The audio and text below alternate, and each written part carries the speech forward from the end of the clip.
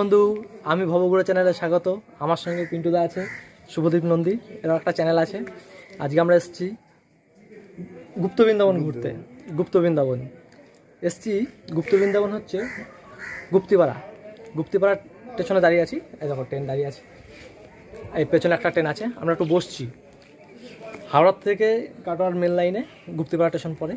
এই গুপ্তিপাড়া স্টেশন হচ্ছে হাওড়া থেকে শ্রীরামপুর চন্দননগর চুচুড়ো, ব্যান্ডেল ত্রিবেণী, জিরাট, তারপর গুপ্তিপাড়া পড়ে আর যদি কাটোয়ার দিক থেকে আসো, কাটোয়ার দিক থেকে আসলে দাইহাট পড়বে, নবদ্বীপ পড়বে, কালনা পড়বে, তারপর গুপ্তিপাড়া স্টেশন পড়বে।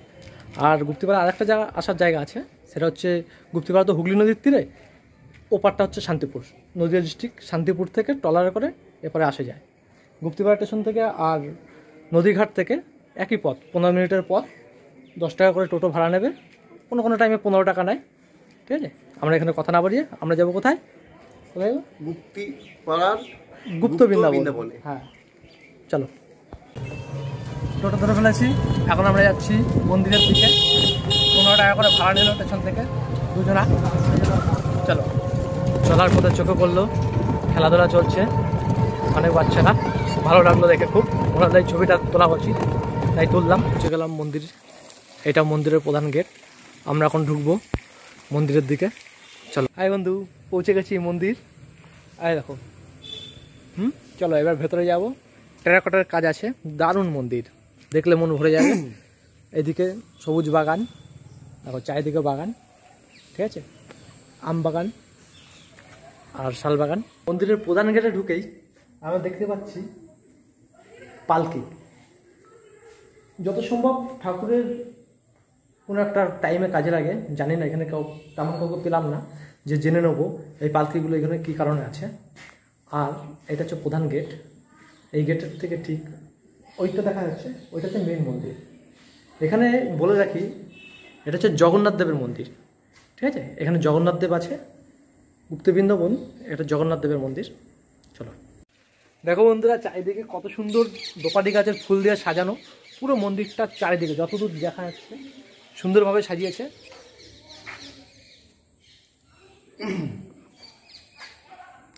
এটা মেন মন্দিরের ঠিক ডান পাশে একটা মন্দির। আর এইটা হচ্ছে মেন মন্দির।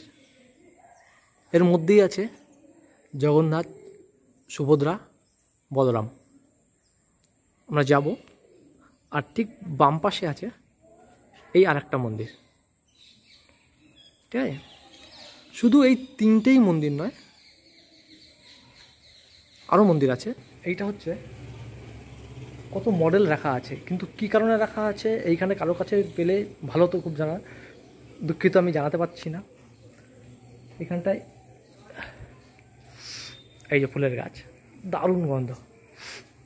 মন্দিরের মধ্যে ভগবান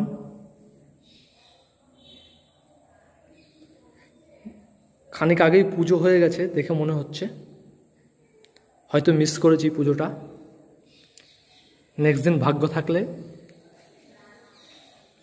হয়তো পুজো পাবো।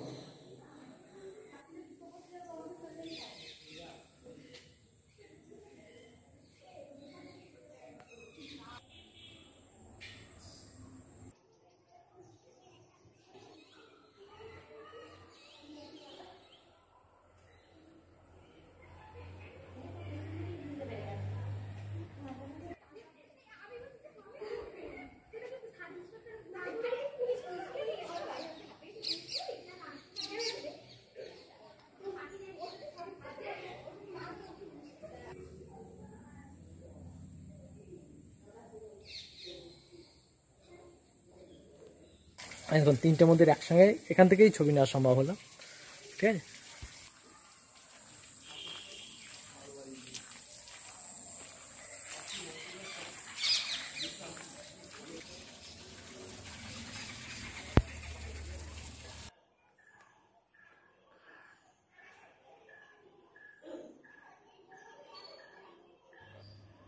Thank you.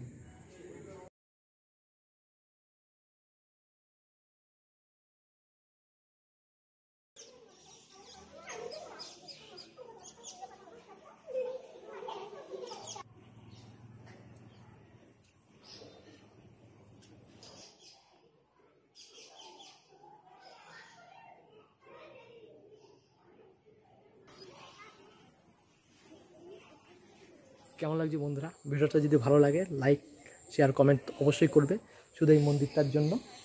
আর প্রচণ্ড রোদ ছিল একটু আগে। অবস্থা ভালো না, অনেকটা দূর থেকে এসেছি। ঠিক আছে? টাটা, আজকের মতন ভিডিওটা এখানেই শেষ করলাম।